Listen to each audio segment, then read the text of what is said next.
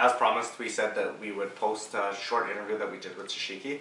So unfortunately, while we were at Worlds, when we were talking to him, we were talking to him during one of the sessions, so we actually didn't film what he was saying. And plus, neither of us really speak Japanese, so we wouldn't understand it. So what we did is uh, we conducted this interview uh, through Google Translate. Obviously, Toshiki's a big fan favorite, and he was in the A session of the 85 kilos, and definitely lots of fans came out to support him, but he didn't really have the best performance, and he would be one to admit that as well.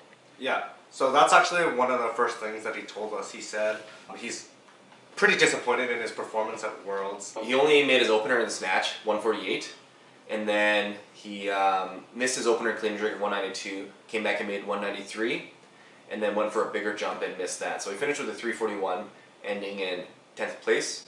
But some of the same issues that we've seen in the past with helicopter, with the uh, jerk recoveries, and just having kind of unstable recovery positions seem to be the uh, um, the same issue that held him back again.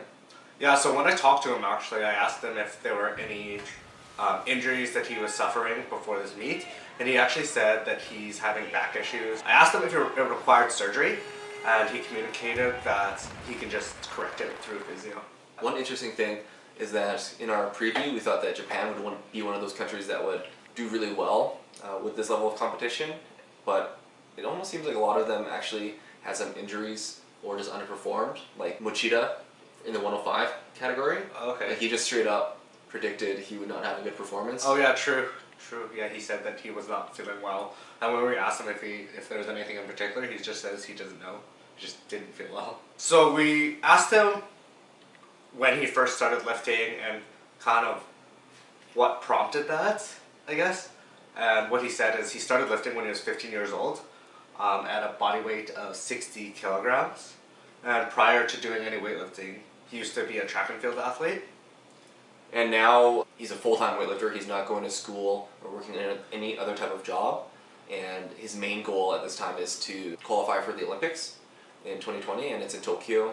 So I'm not sure if they're changing the because I know they're changing the rules on uh, athlete qualification going from country to individual. Yeah. But then in that case, I know in previous years the hosting country will kind of be able to field a different quotas for their teams. I wonder if Oh, that will okay, be the cool. same with the new qualification uh, process. Yeah, that'll definitely help, and just we'll be able to see some, I guess, home favorites. So he's getting paid by the Japanese government right now to lift full time, and I asked him actually how much in USD, but he said it was a secret and wouldn't tell me.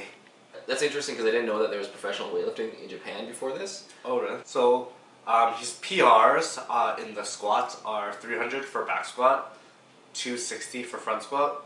He has snatched 162 in training, 158 in competition, and 202 in competition. His best deadlift is 282, and his best strict press is 104. And I asked him what his bench press PR is, and he says he never does bench because it's bad for shoulder mobility. It looks like he benches. True. He also joined the national team when he was 20 years old. So basically, over the course of his career, we asked him if there was any injuries that held him back over time, and he told us that he had some injuries to his right knee and also his right elbow, but he didn't really specify if any of those uh, injuries were kind of lingering or holding him back it in any way. But he was definitely referring more to his back at Yeah. this time. We asked him a little bit of his about his diet just because he does have like quite an impressive physique, I would say. So outside of competition, he's usually not heavier than 87 kilograms. Oh yeah, me too. and uh, he doesn't plan to move up a weight class before 2020 and he says that like, he doesn't count his macros or doesn't follow any special diet so this is actually similar to like i guess what the chinese lifters do they don't have a specific diet but they just eat like a balanced diet Yeah, I think a lot of that actually has to do with maybe Asian culture in general. and it might just be like the science is there except for like it's the food that is provided at the training centers so they don't really have to think about it too much That's true. So they just make it easy for the athletes. Yeah. And his favorite food is steak. And I asked him if he has that normally at the training center, and he says no. He eats mostly chicken. So one meet that he's looking forward to, uh, other than Tokyo, is the 2018 Asian Games. So this year, the Asian Games is held in Jakarta, uh, in Indonesia. That's going to be in August and September of this year. So this is different than the Asian Championships, which um, the difference Happens is every year except for the year of the games, right? Because Asian Games is also four years. yeah, that's right. And then the Asian Games is the multi-sport competition. Oh, okay, cool. Yeah. So just for reference, Asian Games is uh, pretty highly competitive in the 85 kilo category. The last time it was in 2014. Uh, that was held in uh, Incheon in Korea, and that's when Tian Tao and Kianoush had a really close neck and neck uh, battle there, and Tian Tao won with uh, a really clutch 218 clean and jerk at the very end, which was a junior world record, and Yeah. still is. And then he won by uh, one kilo in the total by hitting 381. Yeah, and the reason why it's like so significant as well is just because he was nine kilos behind after the snatch. So when we talked to him about how often he trains, he said he trains five days a week, um, and he squats every day, every day that he trains.